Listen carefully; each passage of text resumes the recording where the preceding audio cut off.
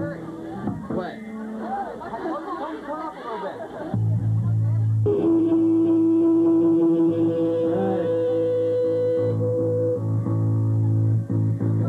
you can turn it up now, fucking hey.